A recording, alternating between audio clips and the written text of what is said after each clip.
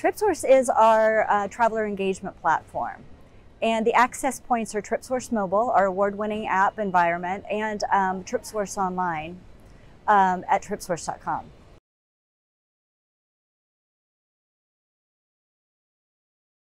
We're always delivering features and capabilities for TripSource.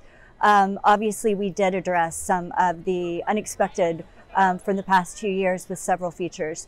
One would be the document vault. We have a document vault tied to the traveler profile in the app and online where they can add their test results, they can add their vaccination card. So when they're traveling, they have all that documentation and all those requirements at their fingertips.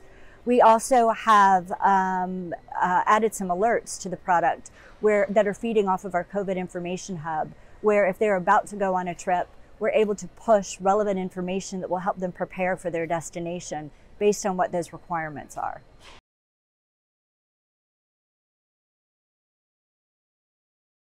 Yeah, one thing I think it's really important for clients to understand about TripSource, it is the traveler environment. It is the traveler facing environment for their trip.